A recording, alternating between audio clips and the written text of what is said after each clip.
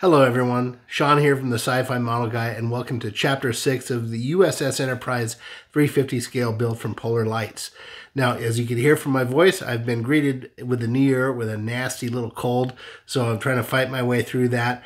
And as such, you might see some little weird jump cuts in this video. Try to compile it together into a nice 30 minute segment and we will go from there. So in this segment, you're going to see finally the wiring of the saucer section. We've got a little bit more on the next video for chapter 7, finishing that wiring, and then on to the painting, which I have uh, done. I've actually started painting the model with, with the gray color, and we'll be moving forward pretty quickly with that as time goes. So enjoy this video, everyone. And uh, if you haven't yet, please, please check the community notes on the channel. Um, Boyd over at TrekWorks uh, recently announced uh, some news. So if you could please go to that community uh, notification I sent out and take a read it uh, at that, I would really appreciate it. And uh, let's all wish Boyd a quick recovery and strength and goodwill and all of our prayers and hopes. So uh, with that, everyone, enjoy this video and have a great day. Okay, everyone, so I made a little snafu here. As you can see, we have a neck attached to the ship. Now, I just recorded the segment talking about this, and I had recorded a big segment before that talking about all the stuff that we did. And you know what I did? That's right, everyone. I deleted that video. So I'm going to give a quick recap that was of a recap of other videos I had recorded that didn't work out last night. Still with me? Good. Okay. So let's just do a quick rundown of what's gone on since since the last video. So um, okay, shuttle bay. We've got the shuttle bay here that has been put in, and uh, that one I I did record some of that, but I'm going to just recap it real real quick here because I probably will cut that out. You'll see here that the shuttle bay has some notches cut out like that. Uh, I did that because I goofed. Uh, when I put in the SMDs that are the ion pods, the little strobe lights that are going to be flashing right here. Uh, if you recall, there's a little a little light that goes in here, and we put a little 0805 in there, a white one, and then covered it with putty so that we can light block it. Which reminds me, I have to light block this with some black. So, um, so I put the putty in, and then I had forgotten about the shuttle bays going in, so that the shuttle bay wasn't fitting. So after some thought and everything, I just decided to cut some of the floor away to give to give room. So that solved that problem. Okay, shuttle bay. Also, we have two, three uh, lights, two sections of three. I can never say that right. Two sections of three lights in here for the shuttle bay. That's going to illuminate these windows here. And there's also a little 0805 white SMD that I put here. Covered it with some Solarez to give it a, a nice protection. And that will be a little dome light here. And that's also going to illuminate the window on the shuttle bay here. You can see there I put a mask on that. So um, that's that's prepped. Okay. Um, we've got the two little uh, 0805 SMDs down here to light up the little there's little green, yellow, and red lights back here. There's three lights up here. They're going to be illuminated from that. Sorry I'm talking so fast, everyone. I'm, this is like the third time I've talked about this part of the model, so I'm trying to uh, trying to get through it. Um, okay, uh, what else do we have? Uh, all the wires here, nice and tacked down with this, with the CA glue. Everything's coming out from the to the front, and um, also, uh, okay, we're going to talk about these. Um, and talk about the uh, the the pylons, this struts for the warp nacelles. Now you see here, I put some putty, and um, I don't know, I don't know if it was me or if it was just this kit or what. I was pretty confident that I had identified the the correct pieces, uh, the piece numbers here to go together, and when I put them together and I was trying to go through into this area, this is why I had filmed. I'm not going to show that, but um, when I put it in there there was like th- this um, part of the pylon was angled one way, the other side of the pylon was angled the other way. So one was going this way and one was going that way, and I had these ugly gaps here that that weren't even. So like th- this thing is kind of supposed to be flush against the hull, um, and I know in the actual uh, kit or in the actual show, there's a tiny gap here. And I think that's supposed to signify that they could eject themselves. And I think Kirk uh, uh, mentioned it in, I think, the Apple the episode. I have to go back and check, but he talks about ejecting the uh, warp nacelles or jettisoning them. Um, anyway, it was just a nice way to explain why there was a gap in their model kit, I'm sure. But uh, anyway, so I mean, to be screen accurate, it was okay to leave a little gap here. And I was going to do that. But then I had these ugly wide gaps and it was shorter on this end and bigger on this end and this the opposite on this side. So I'm like, you know what? I'm just going to putty this thing. So I ended up doing uh, filling the gap with some CA glue. So if uh, if you're not familiar, so the CA glue that we use is also called gap filling medium, which says so right there. And you can use this to fill big, large gaps. And I decided to go that route with it. Uh, one, because it was such a wide gap and I didn't want putty flaking off and breaking over time. And I also wanted a little extra support for these, these pylons going in. So even though they're, they're in there very tightly. Um, so I put that in, hit it with the uh, accelerant, and then filed it down and used that. So I probably spent a good 30 minutes, maybe an hour on both both of these uh, sides, uh, filling it with the CA glue, sanding it down, grinding it, and then putting putty over it. And then today I came through and sanded it down. A lot of work. Um, it's it. I still may need to do some sanding work. We'll see when I prime it and see what it looks like. It's, always hard to tell uh, how you how good your putty work is until you prime your piece. Um, that there's a little little inside baseball there. Um, okay, so there's that. The wires for here, so you're gonna see I put three wires here. Two of these are what we, you know, just positive, negative for the power, and this white one here that I put through. There's a little timing device on the Bussard collector, the LEDs that we showed in chapter one when we unboxed this. So yeah, uh, once you glue these things in there, there is a little hole right here. And all you do is you just feed the wires through there and it goes through and you have to kind of pull it back in and push it back and work with it. But eventually they come out and I just make sure that the, they're all three of them are long enough to go far out from the nacelle so that I can wire them up and then also down through here to the front of the ship. So it's kind of like this big U uh, of a wire. So I did that with both sides. Another little bit of work that I did was uh, I masked the windows here uh, with the masking set that I got from HCA Model Works. Shout out to, to uh, Jerry over there. And uh, I think there's enough on here to do two kits, but I ordered an extra one just in case, just to have it. So all right, everyone. So that's that. And um, now I'm going to end this section, which is a redo of a bunch of others. So I do apologize for that. So uh, the next section, we're going to see me gluing this thing on and it'll explain some other stuff. So um, with that, um, see you in a second, everyone. Okay, everyone, here we go. The ship is uh, ready to be put together. So we've got all the wiring is done. I've tested everything uh, plugged in all these things, and I also uh, cleaned up all the the wiring and you know undid everything and made sure that everything is you know kind of neat and tidy. So I've got the strobe, uh, the strobe plus and minus uh, tagged here, these two right there. The positive and negative for all the wires, include from the neck, including all the the wiring here is is all in these two things, and then we've got the power for the uh, the Bussard collectors uh, taped off over here on the side. And similarly with uh, this side, everything is, is nice and put together and clean and ready uh, for, for the final assembly here of this. So, okay.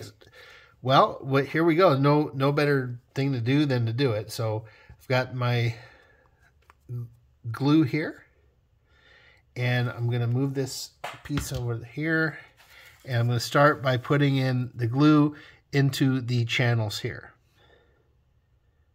So a little bit unlike uh, before, I'm okay with putting a little bit more here. I don't want to have it, I don't want the glue squirting out on this part of the neck here because it would be very hard to kind of grind down and, and slide. But we can have it a lot more here along the spine because we can easily sand that down I think I might have gotten some. Yes, I did. And take care of that. So right now I'm just putting the glue into the channel.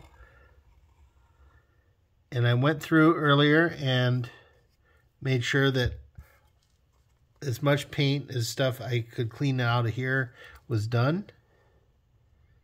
I'm going to do a little bit here. I'm going to try not to get it in, in there.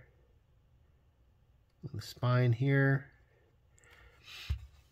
And then the channel down here.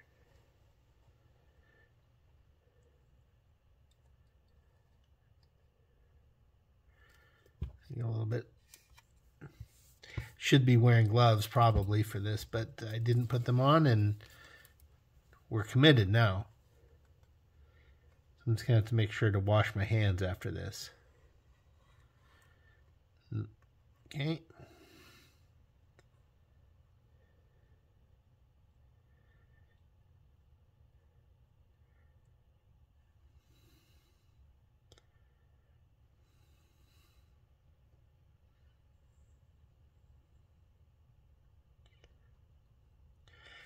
Kind of interesting to watch glue being applied, huh?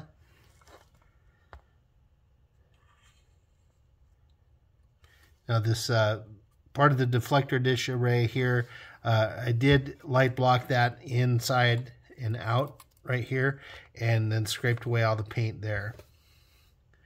And I glued I glued this piece on to here a little while ago. So uh, again, just we glued the neck, the shuttle bay, and the deflector dish assembly thing on one side of the ship. So the other side of the ship is uh, pretty bare. So, all right, so I've got that pretty much good to go. I'm going to set that over here and just kind of prop it so that it doesn't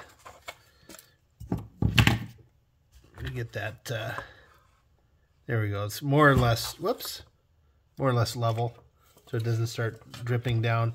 And I'm going to just put some more glue down on this side.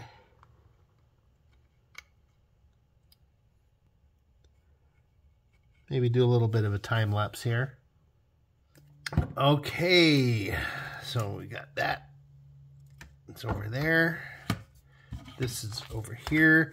Okay, so I'm going to be putting these together and I'm going to be concentrating on not getting these wires pinched in here at all. Um, and if you can see here, looking back on it, I'm now kind of wishing I would have made these a little bit longer. They're, they're out enough for me to work with, but if I had had another few inches, two or three inches out here, I probably would have preferred that. Now, I did trim these down a little bit to get them to fit together. Um, so, so there's that. But, uh, yeah, it would have been would have been preferable to to have a little bit more to work with, but it is what it is. So, all right, let me kind of ball these up. Being very careful not to get any glue on my fingers here. All right.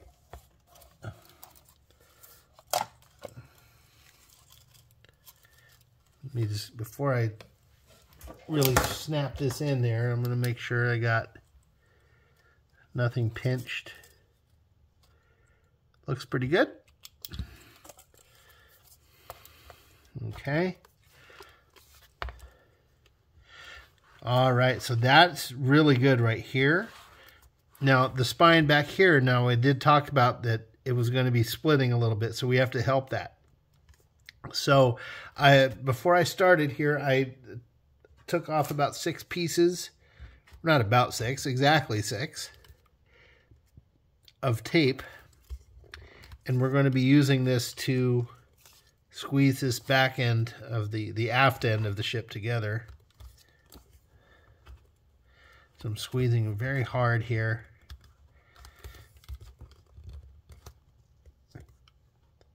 pulling very tightly, getting that as tight and close together as I can. So you can see here when I when I press on it, you can see it coming together. So we need to help that glue stick. So squeeze and pull.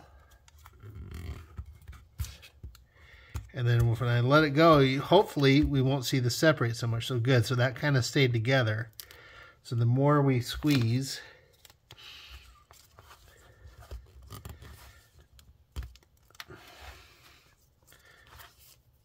maybe it would have been different if I had started on the forward section, but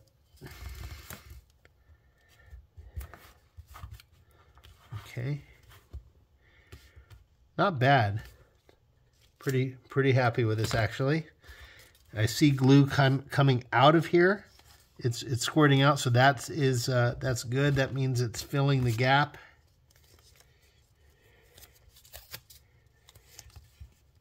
And when this is all done, I'm to let this sit pretty much for 24 hours. And then tomorrow night, I'll come out and uh, take a look at it. The next video after this will be, uh, we're going to be doing the wiring on the saucer section. So I've kind of got that started a little bit, uh, somewhat. But the um, we'll be doing that, laying the uh, navigation lights, the red and the green, uh, the strobes uh, uh, for that on the top part, and all that good stuff. Let me see here. Looks like if I'm squeezing, I'm still getting a little bit of a result here. So squeezing really tight. I'm, I'm trying not to put any pressure on the pylons here. I'm just pushing on the hull itself. Who knows? Just don't know if this is helping at all, but it can't hurt. Pretty good though. Even when I'm feeling this, it's it's relatively smooth. We're not going to have to do very much sanding or putty work. Now let's check the bottom. Always important. Okay, so I'm squeezing. I'm getting a little bit of a result here and back here as well. So let me pull a few more pieces of tape. I think uh, four, four should do it. Now, when I did the masking, uh, if, if, you recall, I did mask the uh, windows on the neck here. I haven't done the uh, the main body of the ship here because I knew we are going to be putting tape down because if we put that tape down, when we take it off, it would just rip those masks right off. And it'd be a waste.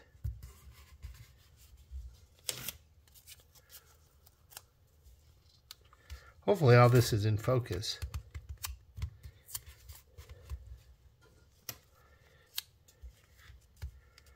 All right. Really happy with this. This is nice uh, nice and smooth. We're not going to have to do too much putty work. That's a great, great omen.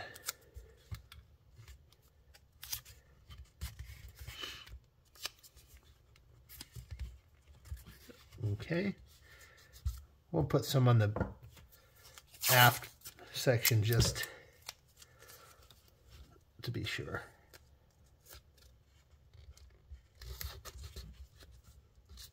Okay. Well, there we go, everyone. We are committed.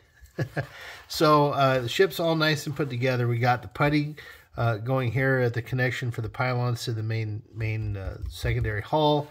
We've got the power strips going for the Bussard collectors. They're going to go through the warp nacelles here. I'll zoom out so we know what I'm pointing at. There we go.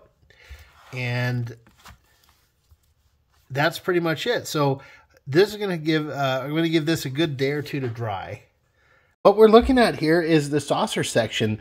The secondary hull is all assembled and wired and waiting for paint and sanding and all, or sanding then paint rather, and all that good stuff. So uh, we're going to take care of uh, wiring the saucer section here. So this actually should be a little bit easier than all the uh, intricate wiring we had to do and tacking down and stuff on the secondary hull. We got a lot more room to work with here. And uh, so let's get going. so the first thing I want to point out here, and I will zoom in until I can find what I want to show you. So right there, Yep, there's my finger. Okay, so right here, if you see, there's a little number six, and uh, I just took a little sharpie there and I and I wrote that down, and I did that all around the hole. So, and what that denotes is how many lights I want to put down here. So this is a section of six lights. Here's a section of three, another six here. Here's one that says 3U for 3 up, and that means that we're going to use this little piece of sprue that I laid down and lay the um, lay the the light up upward. So most of the other lights here are going to be laying flat like this, and then this one's going to be laying up like that because the window's actually on the the floor here or on the bottom where the other lights are along the rim. Okay, so zoom out there a little bit and uh, so on and so on. Uh, I've got all the the lights marked. So the big sections here, the big windows get six lights, so the small ones get three. And then these uh, two here, there's uh, one here and one here on either side that get put on these little pieces of sprue that I put up. So I just lay those there so I have something nice to stick the the light to and then put lay the CA glue down. All right. Um, uh, we are going to put some lights here in the middle of the saucer section uh, that that we're going to cover a little bit later. Uh, we have to construct a little a little doodad for that, and uh, we're going to put a couple of lights here in the back uh, for the impulse engine, and then of course the navigation lights, uh, red and green, and then the, there's two little white SMDs that go here on the side. So we'll we'll get to that a little bit later. So.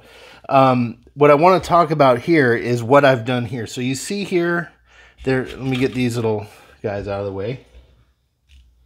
Um, you see here, I have pre-cut some of my yellow wire, the positive wire, all the way around, and I taped it down. So if you're doing this kit, you're going to notice there's little channels here that are cut out and they're made for the wires to go down so you don't pinch them when you put it together, uh, which I'm really thankful for. The designers of the kit over at Polar Lights are pretty considerate about about the folks that want to light the kit. Anyway, um, so I did that. I, I taped them down, and I pre-cut and pre-soldered on wires to all of my sections of of lighting here, so you don't have to watch me do that again. Uh, so I just, you know, it took about 30 minutes or so to get all this made. Now, all the wires on these are oh, about four inches long or so. Okay. And I'm going to talk a little bit about how we're going to wire them up. So there's two ways you can wire things uh, with models pretty much. There's a parallel and then there's a series. I think that's what they're called. And basically, you can you have two options. You can connect wires together or I'm sorry, sections of light together. So you have this section of light and it's got the terminals back here and you plug terminals like this. You know, you daisy chain them, you know, like the, the, the positive goes to positive, negative, negative, and all the way around like that. And you have this big circle of lights that are all connected.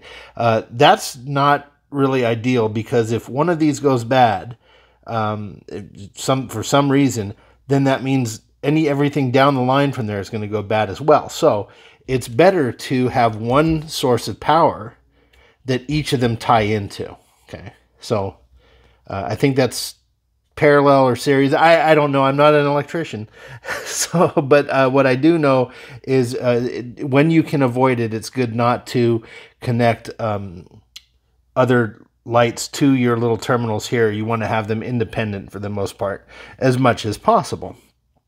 Okay, so I have uh, pre measured this long wire. I'm sorry about stuttering here. Let me turn the light around so hopefully this is not too bright.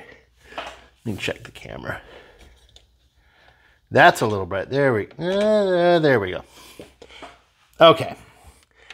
That's so I can see and you can see. Now, I'm going to lift the saucer up. What you'll see here, if you, hopefully you can see, is like right here, I have stripped away some wire a little bit right there. And I've done that in each part of the wire where we're, we're going to tie in some of these things. So I want to get the, I want this to be as clean as I possibly can get it. So the idea is to sure I'm in the camera here. Let's say so. Here is a, a six set a, a section of six, and I'm going to take the positive wire and I'm going to tie it into here. Okay like so. I'm not going to wrap it around now because I have to finish talking about that. So I'll do that, and then I'll get the, the th section of three here and do that and tie that around there. And then what I'm going to do is have the uh, some of my uh, shrink tubing already placed around here. So when I get these tied in, I'll slide that up and, and take care of that. So that will secure that in there. Okay. Um, then I'm going to go around and do the same thing with the negative sides. So that's going to take quite a while, but I want to do this right. I want to do it clean and I want to do it so that there's no chance of these things touching each other. So now the only trick to this is that you have to uh, pre-cut your shrink tubing and put them on this on here, you know, before you're going to tie it in. So I'm going to go ahead and do that.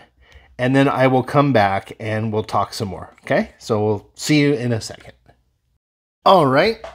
the pieces of the shrink tubing here have been all cut and placed all the way around the the model where I had pre-stripped it. Now, um, talking about the pre, uh, pre-stripping these things, I did use my my little my little handy thing here and um, I don't have a spare piece to show you, but what basically what I would do is I just, you know, you clip off a little piece like that, and then you go to the other side and clip that, and it will kind of expose some, and then you just pull you just pull it down, and it exposes the wire. So, excuse me. So I have uh, here. Now, it's going to look really messy, and I do apologize for that, but there's nothing much I can do about it. So for this section here, we have a section of six lights and a section of three that are going to tie into one of the bare spots that I that I pulled out for this. Okay, so what I had to do was you you know you move the your shrink tubing away, you wrap the thing around, then move it to the other side and wrap it on on that. So you got two pieces coming out either side. So um, I'm going to get my soldering gun set up, soldering iron, and I'm going to solder this together. So that is actually, it already is set up. What am I saying? So what I'm going to do here, uh, so this is very crucial. I'm putting this piece of uh, cutting mat down here because I don't want to get any of the solder onto the onto the model right? Alternately, I could probably just take this whole thing off and wire them without it, but uh, I don't want to get it kind of misplaced or it's it's lined up is what I'm trying to say here as I concentrate on soldering and not breathing in the fumes. Don't know if it's dangerous, but I mean, when you see smoke on something, I don't really want to inhale it. It's metal. so all right, so that's good. Now I'm just going to slide over the shrink, slide the shrink tubing over. Give it a quick burn. And there we go. Now, I'm not going to tie these down quite yet here because I have the um, the negative uh, wires to do on this as well. So uh, what I am going to do is just tape it down and we'll keep Okay, so so that's the basic philosophy uh, that we're working with here. And I'm going to continue without burning my pad. um, I'm just going to continue going around here in this manner. And then I'll do the same thing with the negative wire. Okay, and then I'll come back and show you what it, what it looks like. And we'll get, we'll get it all uh, secured down uh, with CA glue, you know, put it down in the slots, make it nice and neat uh, use the accelerant that we have and it'll be really nice and pretty. Uh, so we'll see you uh, in a few seconds, everyone. Okay, so everything's all done. Uh, since the last segment, I think this took me maybe an hour, uh, perhaps a little bit longer than that. But uh, everything looks really good. It's working. Uh, the technique worked pretty well. The only little thing that uh, that I ran into was, uh, and I should have predicted this, but I, I didn't. Um, now, when I was laying down this this uh, pad here to do the soldering work on the yellow wire, that worked fine. Um, and then I tacked it down with the glue, and I didn't think that it would get in the way of putting it in for the blue wire because I had tacked it down and it's all connected. So it kind of jumbled.